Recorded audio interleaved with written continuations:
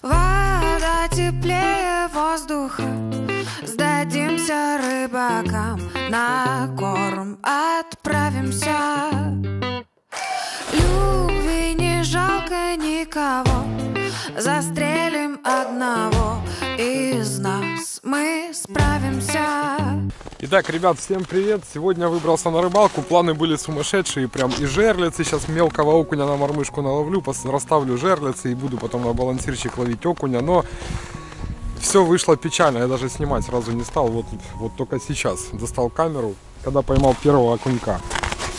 Вот первый окунь. Мормышка молчит, я попробовал даже уже несколько мормышек, вот, чтобы вы видели разные, разные, черные, светлые батанчики, гвоздики. Ну, блин, вообще ничего не получается, не отзывается. Балансир же было два удара, и вот поймал я первого окунька. Пусть мы сегодня там жерлиц не увидим, да, там каких-то щук может быть, но сегодня я сейчас заморочусь, все-таки окунь есть, э, потому что ударчик есть, он просто реально пассивный. И его провоцирует на поклевку даже больше балансир, чем балансир четверка, кстати, чем маленькая мормышка, даже с мотелем уже пробовали, он тут тоже дядя Толя и мотель, все дела, ничего. Э, День сегодня реально какашка.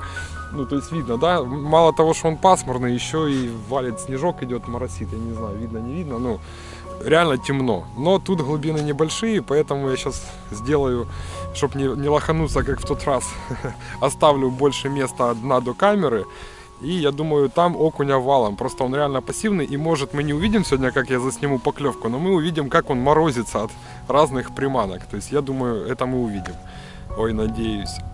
Воду дают. Я, я потом покажу. Там есть выход с этого вот, ну, заливчика. И видно, что прям вода прет. Воду дают. Видно, да, воду дают. И чтобы вы понимали, вот тут, если я сейчас где-то наплужу, можно уйти по пояс. Блин, смотрите, там уже чуть-чуть сапогу остается. И это я на ветке стою. Если я мимо ветки где-то сейчас шагну, то буду я по пояс, короче, в приключениях. И рыбалка на этом закончится. Фух, слава тебе, Господи. Потому что, ну, реально, рыбалка могла закончиться. Так, в этот раз хочу найти что-то потоньше, чтобы оно не такое было тяжелое и не так сильно туда зарывалось в муляку, в траву. Вот это мне подходит. Так, опять приключение. Тихо, тихо, тихо. Фух. Палку вырезал, это хорошо. Но сейчас надо определиться, где я буду ее ставить. Сейчас мы еще, наверное, походим. Самые перспективные места найдем. И потом уже туда будем засовывать камеру. Сейчас, я думаю, вот там вот видно, да, промыто. И воду сейчас толкают, аж такая, ух. Может, вот тут на свежей водичке, он где-то рядышком должен быть. Сейчас будем пробовать. Вода теплее воздуха Сдадимся рыбакам На корм отправимся Любви не жалко никого Застрелим одного Из нас справимся Рак! Вот то рак лежит. Да я сам в шоке.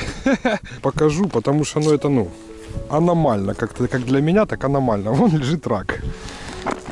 Я сейчас жизнью не рискую. Я вот тут вот лунку пробурил. Тут сантиметров 12. То есть, вот так вот я еще подойти могу.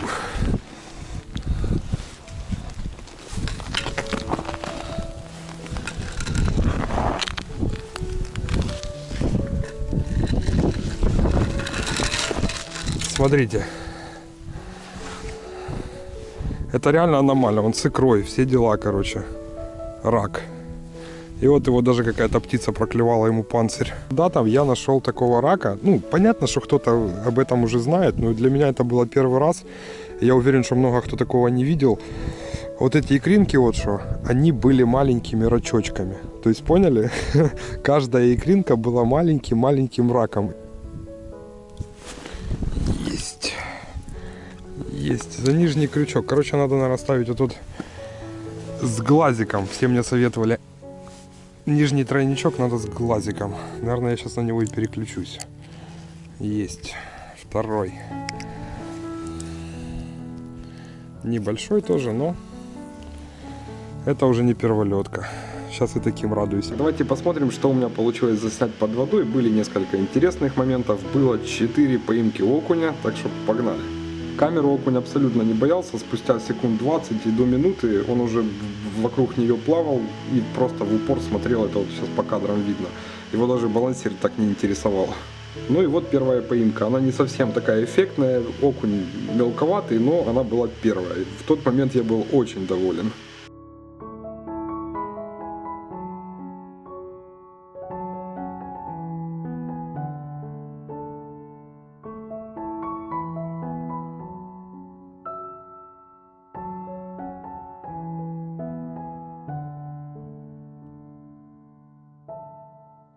На вот этих последних рыбалках я заметил, ну, вот именно когда он плохо клюет, не когда перволеткой он там один за одним клюет, а вот на вот этих вот трудовых именно рыбалках забрасываешь, и он клюет или сразу, с первых там нескольких подбросов, или уже ты сидишь на одной лунке долго-долго и дожидаешься, короче, поклевку. Вот сейчас вот такое видео, сейчас будет видно, вот как мы только опускаем балансир под воду, сразу раз он и так насторожился, активизировался, так оп, всплывается.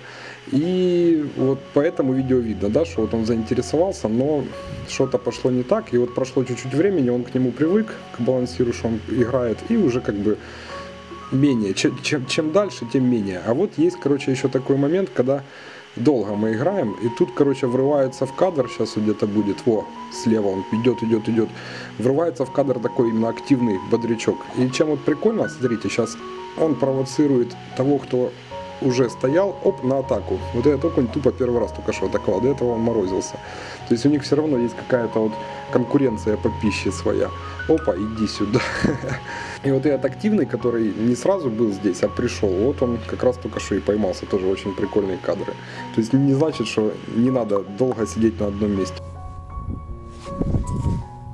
Только что... Ой-ой-ой-ой-ой-ой-ой. Смотрите, это второй окунь. Камера стоит, ну не знаю, блин. Будет что-то, не будет. Очень надеюсь, что хоть что-то будет видно. Вроде расстояние сделал хорошее. О, уже повеселее. Недавно были на последней рыбалке, и мы большой компанией выезжали. Мы долго искали, не могли вообще ничего поймать. И тут Славик первого окуня, которого ловит, ловит их два сразу на один балансир. То есть, ну, клевала очень плохо, рыба пассивная.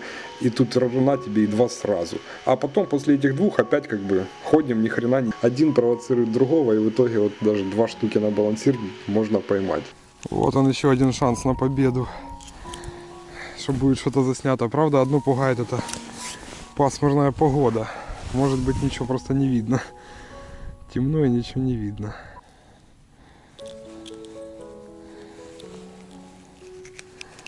Вот он еще один шанс на победу. Что будет что-то заснято. Правда, одну пугает это пасмурная погода. Может быть ничего просто не видно. Темно и ничего не видно.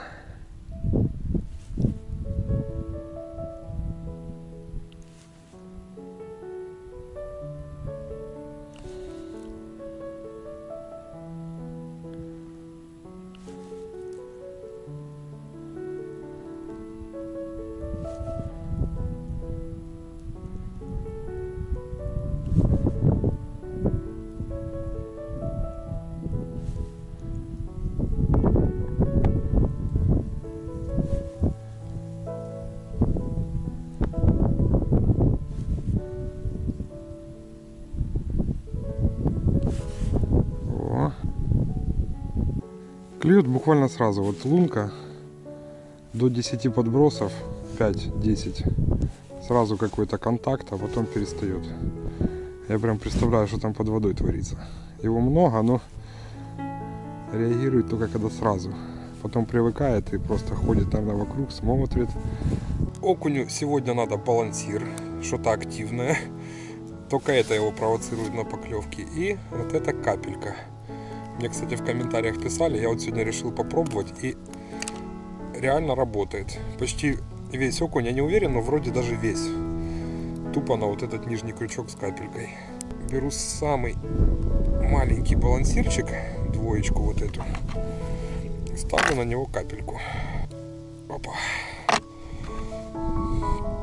Короче, вот такая горнюня получилась. Он себе кровь с пальца взял, правда, ну ничего. Вот такой красавчик. Все, теперь я думаю, сейчас весь окунь, мелкий, большой, весь мой, короче. Сейчас будем ловить всех подряд. Знаю разные пока наши берега Только так от двери есть единственный ключ Лишь одна мелодия в мире созвучна Что это за случай было, что это теперь за мир Все вокруг померкло, я все забыл Ищу среди домов, мостов, ищу в сети И пока город притих, все поменяется Как только зазвучит мотив Шел я, видно, да, что тут даже никто не ходил ни разу. Тут уже глубина идет до метра. Сантиметров 70, тут сюда дальше будет 50, вообще даже, ну, такой меляк. И что прикольно, на таком меляке тоже есть окунь, только он пугается, когда мы сверлим лунку, поэтому я заранее прошел, просверлил. И теперь аккуратненько, потихонечку вот ловлю. Мелкие тут стоят довольно, ну, хорошо, то есть много мелких поймал. А вот парень не побольше. Я знал, что тут и крупный должен быть, только он более осторожный, более пугливый. Но все-таки вот он тоже есть. Так что тоже такой лайфхак. Если не клюет, можно выйти на мелячок и хотя бы мелких окуньков надеребанить. О, есть. Все тот же нижний тройничок. Одно и то же. Долго я наблюдал за поведением рыбы, я там в районе получаса наснимал, и скажу, что толком я ничего не понял. Э, то есть есть какие-то общие понятия, там метаболизм, глухозимие, рыба малоактивна, но скажу, что вот э, среди пассивной и неактивной рыбы все равно проскакивают активные экземпляры. Активной рыбе может не понравиться ваш балансир, и она не клюнет. Пассивная может заинтересоваться и клюнуть. Некоторые плавают выше, некоторые плавают по над самым дном. Грубо говоря, можно сказать, что они как люди, у каждого свой индивидуальный какой-то характер, ведет себя по-разному, по-своему. И то есть все, что можно делать нам, рыбакам, это просто упираться, упираться как можно больше и надеяться на то, что мы попадем именно в то время, в то место и поймаем свою рыбу.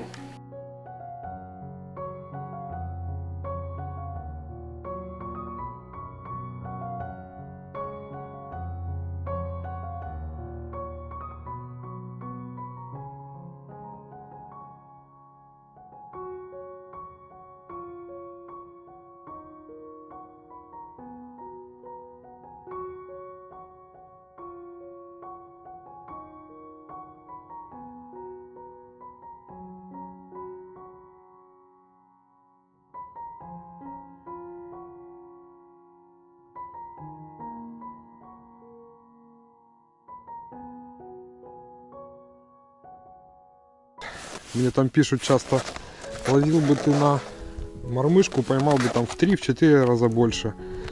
Ну, я не соглашусь, потому что вот я давненько, ну как давненько, привык к балансиру, да, я уже знаю, что он делает, как, я вот его чувствую именно, вот, что надо делать, чтобы ловить.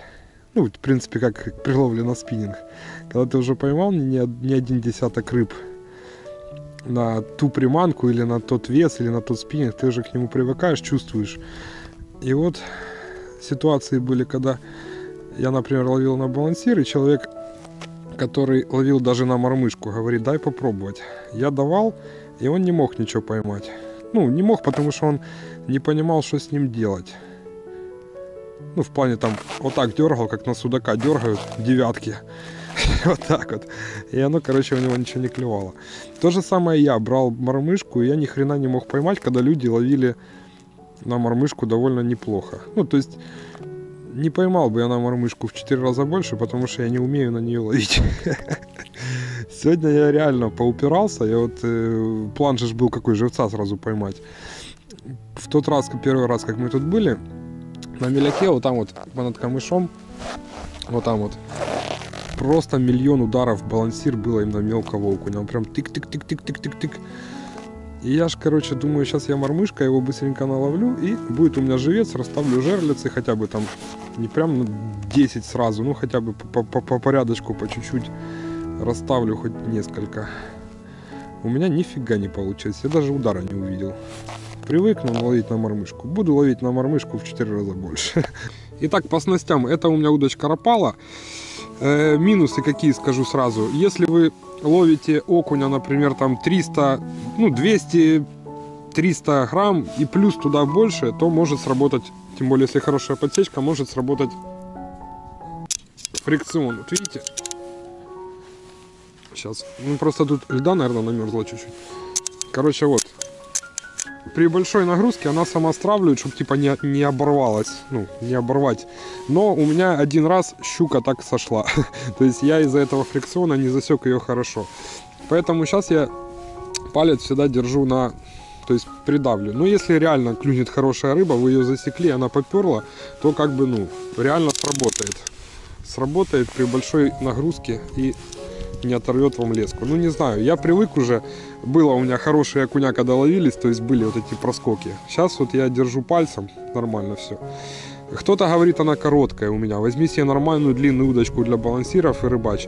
Я вот э, скажу, я в основном окуня ловил или на вот тот скользячий 4 сантиметра балансирчик. Он весит всего лишь 4 грамма, он реально легенький. Или вот это, как что я сейчас ловлю, двоечка, да? Она тоже очень легенькая. И я э, на вот эти балансиры легкие я ловлю только сидя над лункой. Потому что если стоять, я реально, ну, я, я не контролирую. Оно у, у каждого по-своему, но мне надо ж вот конкретно контролировать. Я даже вот ложу на руку, чтобы каждый раз, когда я вот отыграл чик, я все контролирую. Каждый малейший ударчик я вижу, контролирую, поэтому я даже не стою, когда я вот ловлю на вот эти легенькие балансирчики. Чтобы четко все контролировать и делать все четко. Вот мне только так. Я не могу стоять, чтобы тут ветер телепал, вот это все, ну, как можно ниже клунки и вот, вот поехали. Леска у меня Шимано стоит. Честно, не буду, не, не знаю, сколько она стоит. Мне ребята, спонсоры позвонили, говорят, Жека, тебе леска надо хорошая? Говорю, хорошая надо. Прислали Шимано, я вставлю упаковочку, покажу, как она выглядит. За цену, честно, не знаю. Ну, вроде довольно круто. У меня даже узелок вот тут был завязанный вот над балансирчиком. Вот он, узелочек. Я думаю, блин, надо перевязаться, бо еще оторвет. Вот так вот сделал, а оно не порвалось. И, короче, я забил и так и рыбачил. Там 3,6 килограмма вроде на, на разрыв. Тут у нас застежечка, маленькая застежечка. И балансирчик. Это двоечка, еще был сегодня э, троечка и четверочка. Это рапаловские балансиры Jigging Crab и Snap Rap, вот этот скользящий был. То, что надо для рыбалки, хорошего отдыха я сегодня получил. И природа, и Погодка, конечно, не очень, ветер, ну тут вроде затяжек, так что, блин, отлично. И вот сейчас конец видео, э, вы, наверное, уже видели, что там под водой, под льдом творилось, там поклевку заснял, я не заснял, я реально сейчас не знаю. Вы, наверное, уже все посмотрели, я, наверное, даже уже озвучил голосом за кадра, за кадром, ну я сейчас этого ничего не знаю. Но думаю, что-то получилось. Так что, ребята, все, всем пока, подписывайтесь на инстаграм, подписывайтесь на все группы, подписывайтесь на наш канал просто и заскакивайте в наш интернет интернет-магазинчик. Первая ссылка под видео. Все, ребят, спасибо всем за просмотр. Пока, до следующего интересного видео.